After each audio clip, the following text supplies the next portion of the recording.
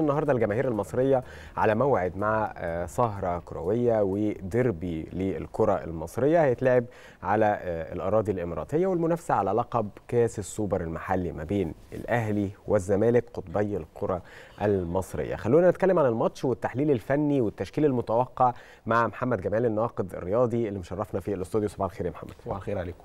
صباح الخير عليك يا محمد. محمد النهارده يمكن لقاء هو الأول كولر أمام فريرا. شايفه إزاي؟ لا أكيد ماتش صعب بعيدا عن حتى كولر وفيريرا هو ماتش ملوش حسابات. ماتش دايما بيكون صعب على الفريقين ملوش أي مقياس قبليه. أنت كنت أدائك عامل إزاي؟ يعني ما ينفعش إن إحنا نقيس النادي الاهلي كان أداؤه عامل إزاي أو نادي الزمالك خلال الفترة اللي فاتت لانها مباراه دايما بيبقى حالة الفريق هي اللي بتحكم على نتيجة المباراة. صحيح. بالنسبة لفيريرا وكولر فيريرا يمكن مدرب قديم شوية في الدوري المصري من 2014 كان مدرب قبل كده للزمالك. اتحط في نفس الظروف دي إنه فاز بدوري وكاس 2014 15 ثم واجه الأهلي في السوبر ولكن كانت ذكرى يمكن مش الافضل لإنه خسر أمام النادي الأهلي ورحل بعد. المباراة في كاس السوبر 2015 نعم. آه وهو اتكلم حتى في الموضوع ده امبارح. ولكن كل بعد كده رجع تاني وفاز بالدوري وفاز بالكاس يعني عنده خبرات مع اللعيبه المصريين ومع الدوري المصري. ولكن كولر أول مرة يتعامل في. المنطقة العربية أول مرة يكون موجود كمدير فني للنادي الأهلي. ده أول مباراة كبيرة بالنسبة له هي مباراة نادي الزمالك. فأكيد عند فيريرا خبرات أكتر في ماتشات الأهلي والزمالك. ولكن زي ما بقول لك هي حالة اللعيبة بتفرق حالة التحضير قبل المباراة بتفرق. وأنا بصراحة شايف إن الأهلي والزمالك محضرين بشكل كويس. المعسكر مقفول عليهم بشكل كبير جدا. كمان التنظيم الإماراتي رائع وحتى هم أشادوا بده سواء الإدارة هنا أو الإدارة هنا أو حتى الجهاز الفني واللاعبين في كل فريق. صحيح. وياكدوا على إن الدنيا هادية بالنسبة لهم هم بيتمرنوا بس فأعتقد إن النهارده حالة الفريق الأفضل هي اللي هتحكم اللقاء.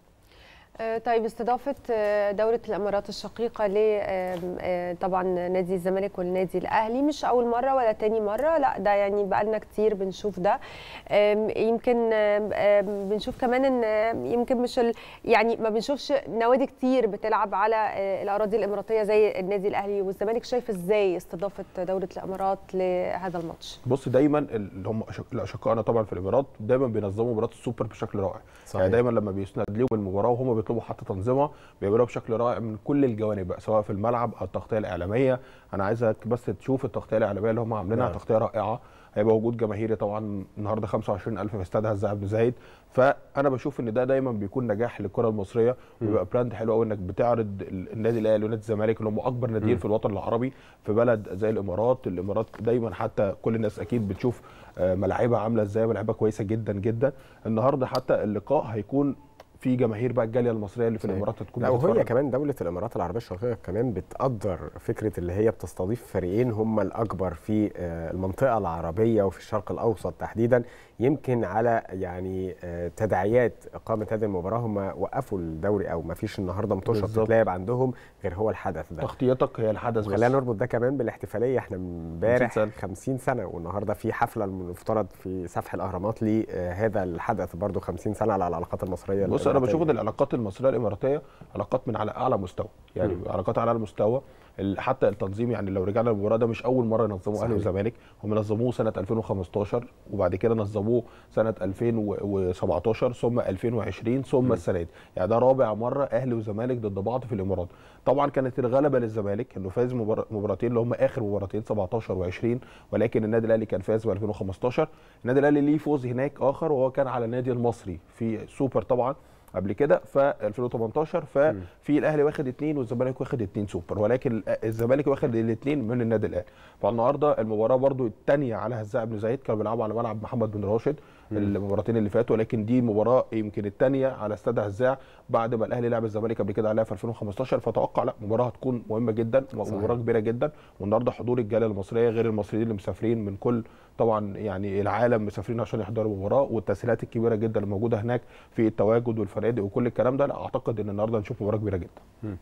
طيب بنتكلم عن طبعا النهارده الماتش هيتصور بتقريبا 25 كاميرا وفي وليد سليمان هيبقى موجود في استوديو التحليل وغير طبعا لعيبة قدام كتير جدا. لو بنتكلم في بداية الماتش عن الزمالك بصفته صاحب الماتش لو نقول متوقع تشكيلة الزمالك هتبقى عاملة إزاي؟ لا أنا هقول لك تشكيلة الزمالك النهارده مين؟ يلا بينا. متوقع ده. لا. تشكيل النهارده مين؟ النهائي يعني. النهائي. محمد عواد لحراسة المرمى. هيلعب بثلاثه في خط الدفاع. حمزة البسلوسي. وحسام عبد المجيد ومحمد عبد الغني. هو راجل دايما بيحب إنه بيلعب بثلاثه في الخط الخلفي. قدامه على اليمين هيكون موجود عمر جابر على الشمال أحمد فتوح. اتنين في وسط الملعب هيكون موجود زكريا الوردي الصفقة الجديدة من المغرب ومعاه رؤى. وقدامهم ثلاثة إمام عاشور وسيف الدين الجزيري وزيزو. يمكن الفترة اللي فاتت كل تفكير فيريرا في مركز واحد فقط لا أكتر وهو مركز الظهير الأيمن. هل يبدأ بعمر جابر ولا يبدأ بسيد نيمار؟ هي دي الفكرة كلها بالنسبة له لحد اللحظة اللي بكلمك فيها هي دي القصة بالنسبة له. ولكن بقية الفريق بالكامل هو تم الاستقرار عليه. امبارح كان التدريب كله قايم على التشكيل ده. دايما هو فيريرا تفكيره كله في إنه إزاي يقدر يخطف هدف بدري يريحه طول المباراة عشان يقدر يلعب ال counter attack أو الهجمة المرتدة اللي صحيح. بيحبها طوال اللقاء. وده اللي بيعمله في الدوري أو في حتى في ماتش الأهلي الأخير في كأس مصر إنه دايما بيخطف في الأول بيلدغ في الأول وبعدها بيقدر يمشي المباراة زي ما هو عاوز بالظبط. نعم. فده اللي ممكن يكون قلق النادي الاهلي لأن النادي الاهلي عنده قصة الجراءه الهجومية أكتر من فيريرا. دايما هيبقى نازل ضاغط على نادي الزمالك فده اللي ممكن يسبب إن أنت تسيب مساحات وراك. في نادي الزمالك يسجل هدف يقدر إن هو يلعب بقى طول المباراة على الهجمة المرتدة وهيبقى خطير جدا جدا على مرمى محمد الشناوي. عشان كده النهارده فيريرا مستقر على التشكيل ده خلاص والتشكيل ده هو اللي واخد التعليمات بشكل كبير جدا. النهارده يمكن غياب الونش هيكون مؤثر أكيد على نادي الزمالك لأنه مدافع رائع. يمكن ما بشوفش إن غياب نضاي هو مؤثر لأنه لسه صفقة جديدة لسه ما خدش مباريات كتيرة مع نادي الزمالك. ما نقولش إن غيابه مؤثر زي غياب الونش على نادي الزمالك.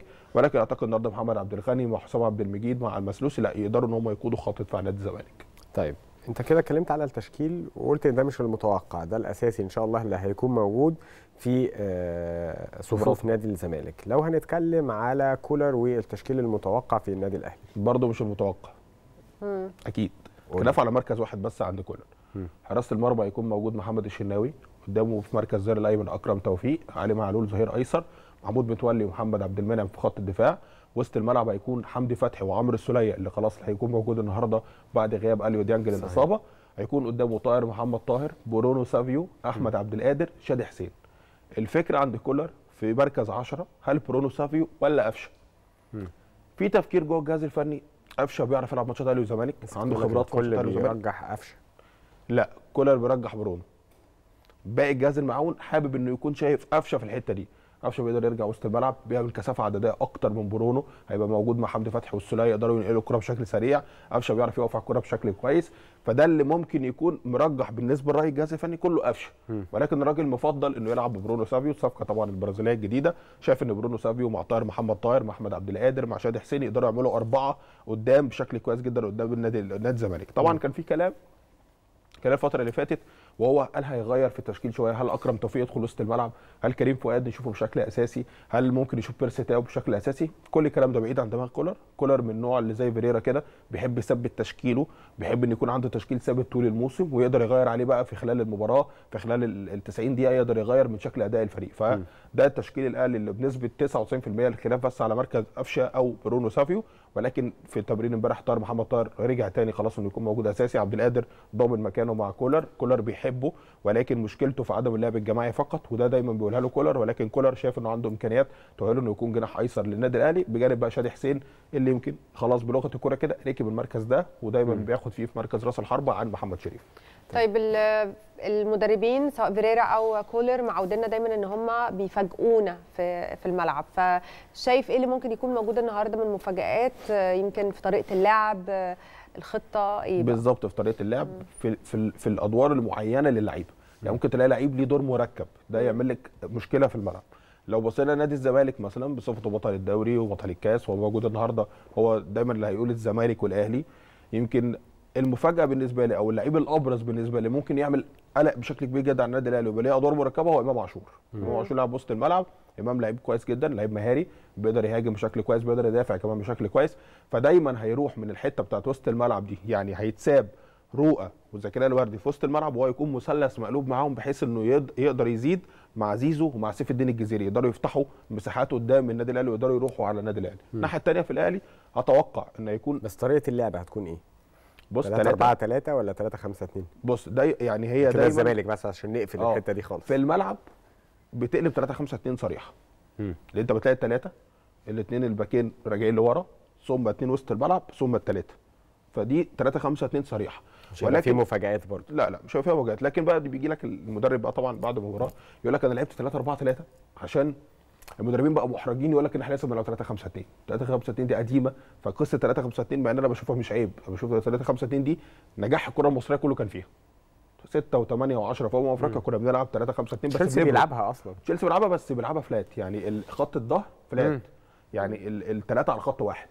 كنا زمان بنلعبها بليبرو. صحيح. دلوقتي انت بتلعبها بلعيب وسط ما يعني لعيب يكون موجود في خط الدفاع يقدر يلم لك الكرة دي بشكل كويس جدا. مم. طيب لو بنتكلم عن الغيابات بقى خلينا نتكلم عن غيابات نادي الزمالك في البداية. هل غيابات الونش ونداي مثلا ممكن يأثر على آه، الزمالك؟ بصي أنا بشوف إن الغيابات في الفريقين هي هي. يعني أنت غايب عنك عنصر مهم جدا هو الونش في نادي الزمالك النادي الأهلي غايب عنه عنصر مهم جدا هو أليو ديانج. ولكن هل يستطيع النادي الأهلي تعويض ده؟ آه يستطيع أبو عمرو السولية. هل يستطيع نادي الزمالك تعويض الونش؟ يستطيع ابو حسام عبد المجيد ومحمد عبد الغني. طيب آه، إحنا اتكلمنا إن 3 5 2 هي الطريقة الأنسب للنادي آه، يعني أو لكل اللع- اللعيبة المصرية. تحديدا مش هنقول بقى أهلي آه، وزمالك. وحضرتك عاوزين نتكلم على التشكيل بتاع الأهلي. إحنا اتكلمنا على تشكيل الزمالك كده. الأهلي هيلعب بإيه؟ الأهلي دايما بيلعب بأربعة ورا. وهل عندي بس معلش برضو فترة الراحة اللي خدوها اللعيبة هل دي كانت كافية اللي هي نشوف اللعيبة فايقين في الملعب ويعني راجعين تاني في الأهلي تحديدا السولية هنا راجعين للفورمة بتاعتهم اللي إحنا كنا عارفينها مع بداية الج- أعتقد الدوري آه أعتقد آه لأن النادي الأهلي كان أكتر فريق محتاج إنه ياخد راحة. الاهلي كان لعب الفترة اللي فاتت كتير جدا سواء في دوري ابطال افريقيا ووصل لل final مرتين ورا بعض كاس عالم انديه مرتين ورا بعض السوبر افريقي مرتين ورا بعض لعب عدد كم من بطولات كبير جدا في بطوله الدوري كمان وبطوله الكاس ال... إحنا كان للاسف عندنا كاس قديم وكاس جديد صحيح. في آه، في في الكره المصريه. بجانب زي ما بقول لك بقى انه كمل في افريقيا الزمالك ما كانش كمل في دوري الابطال الاهلي لعب اتنين كاس عالم انديه الزمالك ما لعبش ففي عدد مباريات أكتر من نادي. الزمالك. بعد كده كان حتى أغلب لعيبة النادي الأهلي موجودة في منتخب مصر فلعبوا أمم أفريقيا في تصفيات كأس عالم في كأس عرب فكانت اللعيبة خلاص يعني اللعيبة كانت وصلت عمرو السوليه كان وصل ل 67 مباراة متتالية. 67 مباراة في 8 شهور أعتقد ده ما فيش لعيب في العالم بيلعبها. فطبيعي جدا مستواه يتراجع. لما تلعب 67 مباراة ده ده يعني رقم كبير جدا.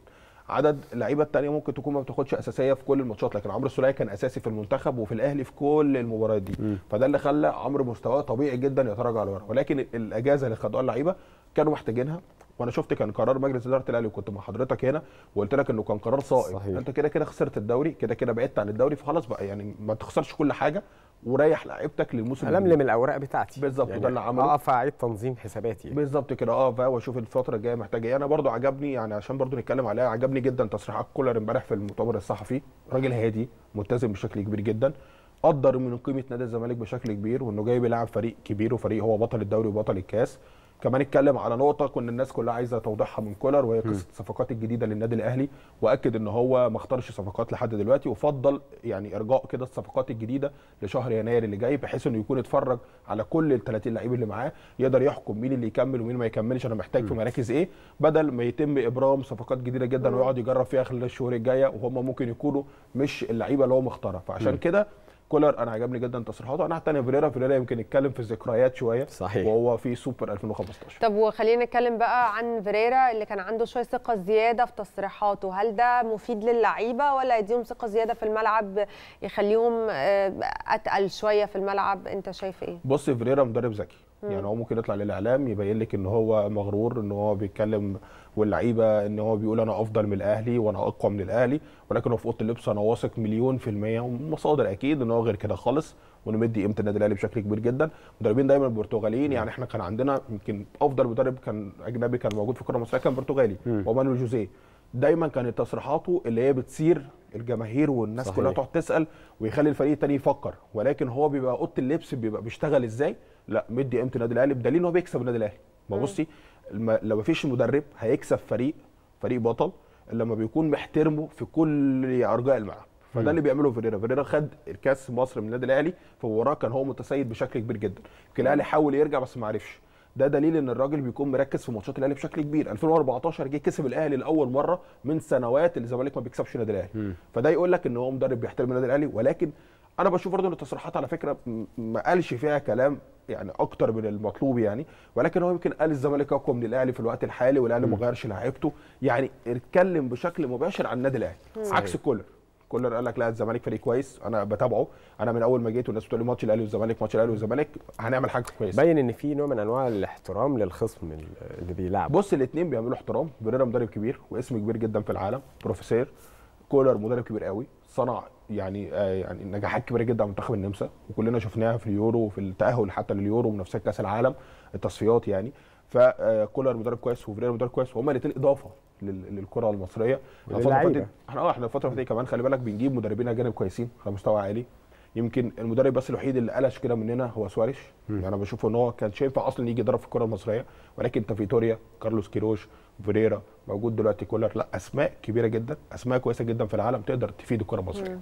طيب لو هتعمل لنا سيناريو كده سريع للمباراة وتقسم لنا كده الفريقين هيبقوا عاملين إزاي وتوقعاتك للمباراة هتبقى إيه؟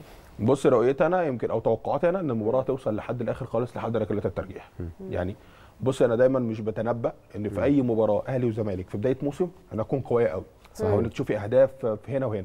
ممكن حالة المباراة الفرقه تسجل الثانية تتعادل فالماتش يقلب يعني بنتائج. أفهم من كده إن هيدخلوا المباراة بيلعبوا دفاع أكتر من هجوم وبيعتمدوا على الهجمات المرتدة. بص هتبقى معركة وسط ملعب. هتلاقي الزمالك أنا واثق إنه واقف ورا وهتلاقي الأهلي بيحاول يبني كورة فالموضوع هياخد وقت شوية. فأنا بشوف إن المباراة ممكن توصل لوقت إضافي ومنه لركلات ترجيح أنا ده توقعي. لكن ممكن الزمالك يحاول أكيد والأهلي بيحاول أكيد إنه يخطف جول بدري لو تم يعني خطف جول بدري اي من الفريقين لا المباراة تتغير وهتبقى نتيجه كبيرة لأي منهم. لكن حتة إن أنت لو عدت أول نص ساعة 0 0 أنا بقول لك هتوصل ضربات جزاء. هايل إحنا بنشكرك جدا يعني آه، أفدتنا وبنتمنى طبعا التوفيق لقطبي الكرة المصرية النادي الأهلي ونادي الزمالك. بكل شكر ليك محمد جمال الناقد الرياضي على وجودك. معانا. يعني معلوماتك في الجول إن شاء الله النهارده يبقى كل حاجة تمام وفي الجول برضه. شكرا جدا. شكرا لك يا محمد شرفتنا.